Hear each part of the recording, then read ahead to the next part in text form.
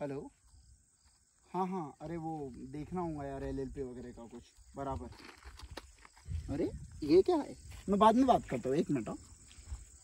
ओ, किसी का फ़ोन है। तो आप बताएँगे मुझे, क्या मैं इसका सिम निकाल के ये फ़ोन को यूज़ करना चालू कर दूँ? हाँ या ना? पहले इसका जवाब दीजिए।